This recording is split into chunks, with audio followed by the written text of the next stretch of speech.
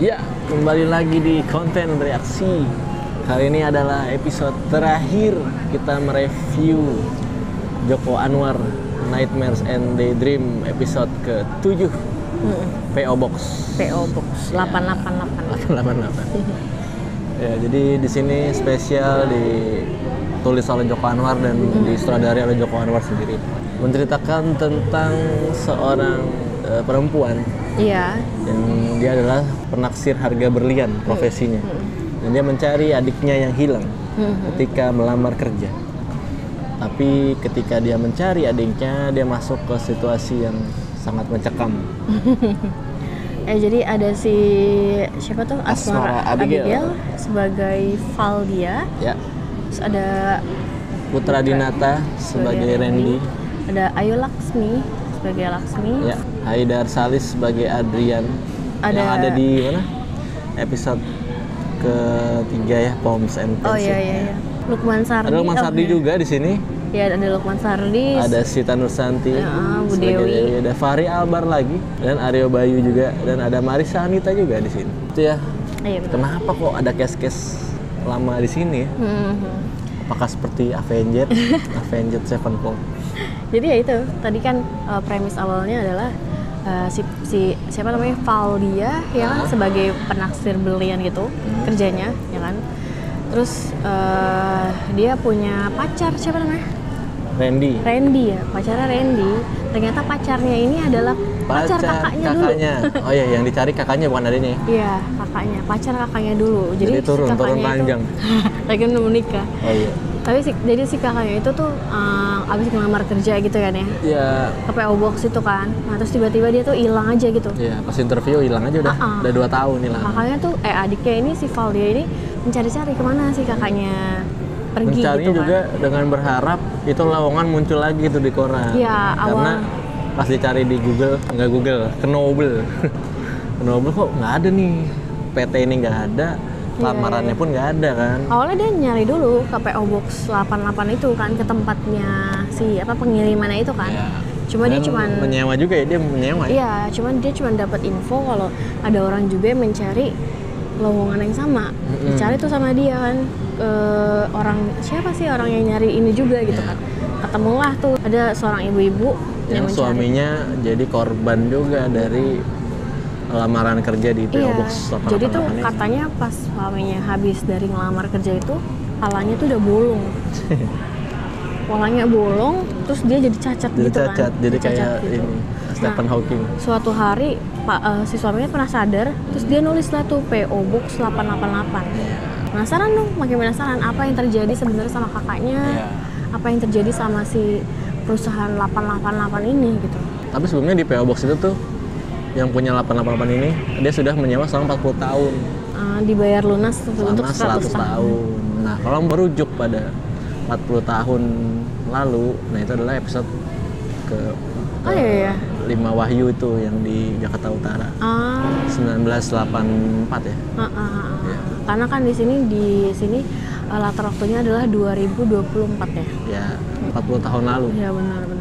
Setelah tahu ada korban yang sama, Hmm, hmm, hmm. akhirnya ya udah si Valdianya ini berharap kalau lowongan itu akan muncul lagi. Mm-mm. dan dia Di mau istilahnya mau turun lapangan sendiri lah ya Iya, apa gitu ngecek, ya. iya kan. apa yang terjadi sebenarnya ternyata mau muncul gitu kan tapi jauh sebelumnya di awal opening dia ketemu sama ibu Laksmi ini ya oh iya benar benar. Nah, cuman eh, aku ramal kita akan bertemu lagi udah kayak Dylan aja kita akan bertemu lagi Ibu ibu ini aneh banget kan Nah, dia muncul ya tapi kan akhirnya iya kita kita ngira ini siapa nih Hmm. Bapak villain ya kan karena udah dia ngelamar dan dia ngebuntuti orang yang ngambilin PO Box itu ah, jadi dia nungguin dulu nih di PO Box Kayak malam sampai ada yang datang buat ngambil lamaran yang ada di PO Box 888. iya, iya, iya. Setelah dia naruh di situ ya lamarannya.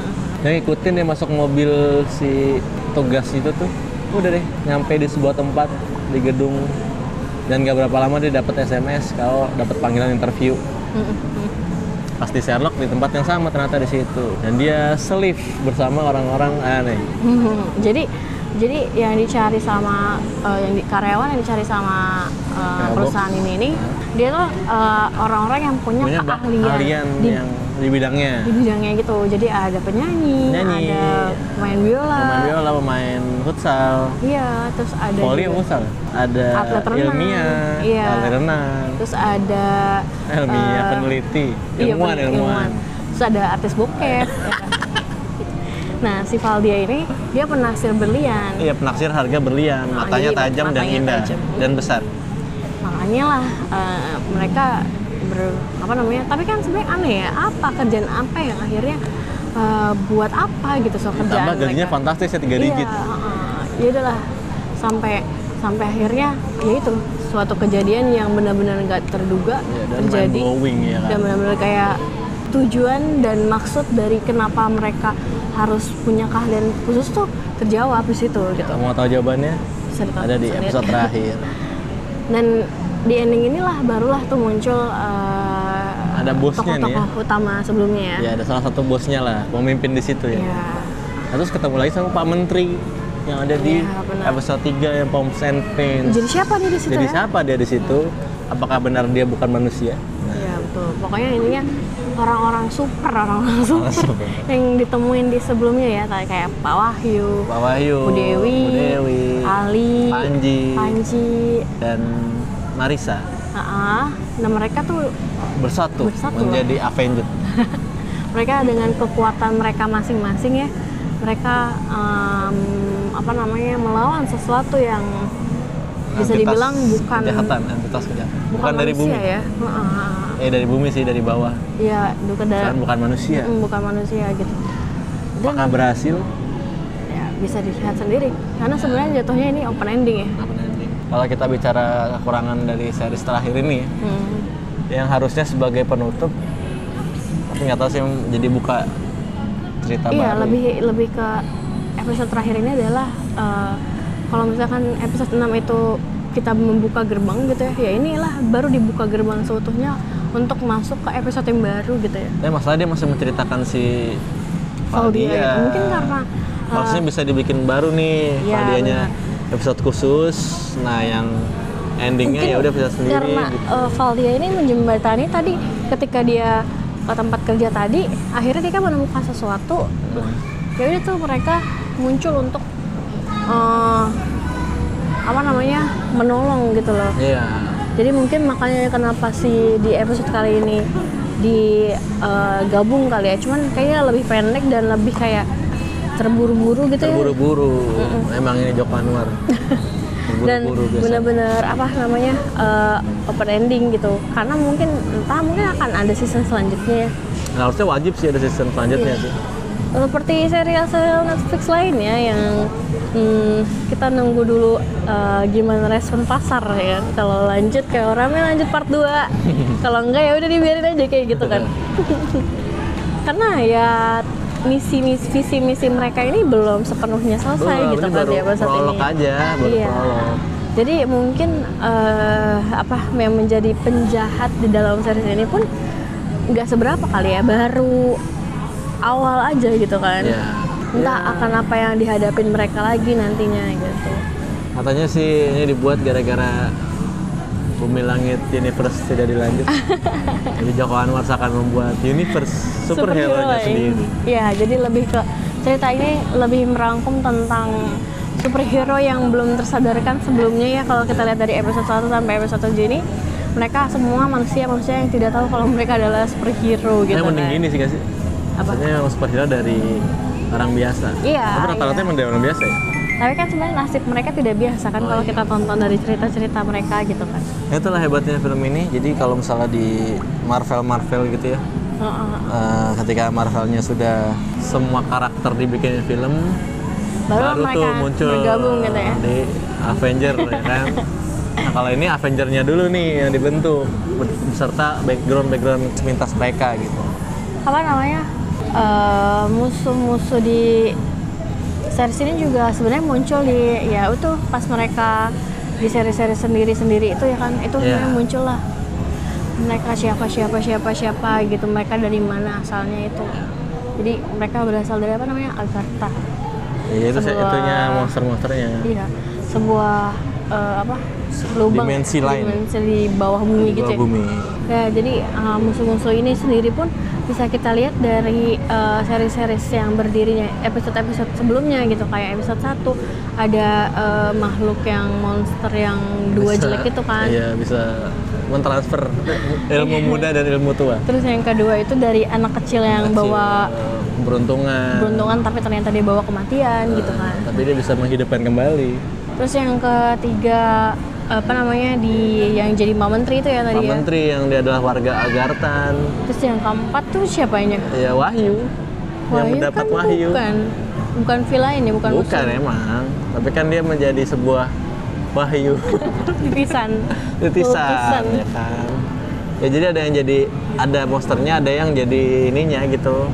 Ya di other side Membawa kebaikannya. Iya sih di other side juga nyeritain tentang Bu Dewinya ya. Ah, dan Yang sebuah warga-warga Agartan dalam dunia ilusi oh iya ya iya, kan. iya iya iya iya. Monsternya juga ada ya kalau di situ ya. Dan yang terakhir ya dia di dalam hipnotis oleh sebuah pengetesan oleh si entitas yang terpilih untuk menjadi Superhero. bagian superhero. Dan yang terakhir yaitu Ternyata si warga-warga Agartan yang suka makan apa itu bisa ditonton lah. Berarti kan ini akan membuka lagi ya season selanjutnya. Harusnya ya. season 2 kalau ini rame. Eh, untuk episode 7 sendiri sebenarnya kan nggak bisa kita nilai berdasarkan diri sendiri ya karena dia berkesinambungan dengan keseluruhan cerita gitu ya. Tapi untuk plotnya sendiri sebenarnya plotnya Valdia terlalu panjang ya menurut aku. Kayak tiba-tiba jadi bisa jadi di episode sendiri sih ini. iya sih sebenarnya cuman terlalu panjang dan terlalu apa karena cara ngomongin Valdia begitu ya kayak ini gadget, gadget, sosok gadget-gadget gitu. ya untuk untuk episode selanjutnya sendiri rate-nya 7 per 10 lah ya Aku tujuh setengah per sepuluh. ya Ada adegan pecah pala. ah iya sih benar-benar nah untuk seriesnya sendiri sih Total seriesnya ya? ya, heeh. Hmm, sebenarnya nikmat edit apa ditontonnya seru ya karena dari awal ke ter episode terakhir tuh kayak pengen selanjutnya selanjutnya selanjutnya apa yang terjadi selanjutnya gitu. Terus eh, ya udah em, rasa penasarannya ter apa Jawab. namanya terjawab. Series ini bisa bikin kita penasaran penasaran gitu untuk episode selanjutnya gitu ya. Dan semuanya juga berkesinambungan gitu dengan cara yang unik. Unik. gitu. Terus case-case-nya yang dipilih juga kayak sesuai gitu ya maksudnya dari awal sampai akhir tuh hmm, Ya bisa untuk membawakan series ceritanya ini gitu. walaupun sebenarnya banyak wasting wast ngebuang ngebuang sia-sia beberapa case-nya case. gitu ya Ya.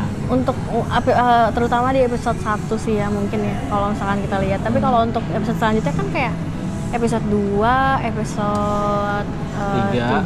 3 gitu ya episode Set- bahkan episode yang Eh, apa tuh yang di kampung nelayan episode Empat. 4 ya itu nggak nggak ngebuang-buang maksudnya Ada porsinya sendiri-sendiri porsinya ya? sendiri-sendiri penting gitu Walaupun loh sedikit ada porsi. Ah, terus yang disuka gitu ya banyak yang kita tahu gitu case-case-nya dan acting-actingnya yang mumpuni Mungkin gitu. ada akan di reveal lagi di season 2 mungkin. Mm-mm. Terus untuk keseluruhan kira-kira mana yang jadi favorit episode? Episode Yang Wahyu. 4, episode 4. Wahyu itu. Ya. Kenapa gitu? Karena dia Nah, tiba-tiba jadi titisan malaikat, terbang. titisan nabi, titisan nabi. Terus sih jadi yang konfliknya pecah semua dapat. Iya sih, terus juga dia eh, semuanya nyatu gitu ya. Kamu apa yang paling disuka? Ah, episode favoritnya paling yang sebenarnya suka loh sama The Orphan sih ceritanya Oh, di tuh. Orpan ya, oke. eh, ceritanya tuh heartwarming ya ke- sebenarnya. Cuma dia anak setan Dua aja. berarti, ya. Cuma mungkin eh, endingnya kan nggak terlalu jelas gimana gitu ya. Cuman kalau untuk secara cerita tuh lebih suka itu gitu. Oke, berarti berapa keseluruhan untuk series ini? Hmm, 7 per 10. Oh, tujuh setengah per sepuluh untuk series Joko Anwar's Nightmare and Daydream. Bisa kita tunggu untuk season Setelahnya- selanjutnya. Semoga nggak lama-lama banget. Atau minimal tahun besok ya. Biar kita masih excited nunggunya gitu. Kalau udah kelamaan juga males nontonnya kayak lupa gitu. Oke, berarti selesai sudah re bereaksi spesial series ini. Sampai ketemu di konten drastis selanjutnya. Jangan lupa like, comment, dan subscribe. Kalau ada seri-series yang seru lagi bisa rekomend di bawah ya kan seperti biasa. Dan terima kasih. Bye bye. Bye bye.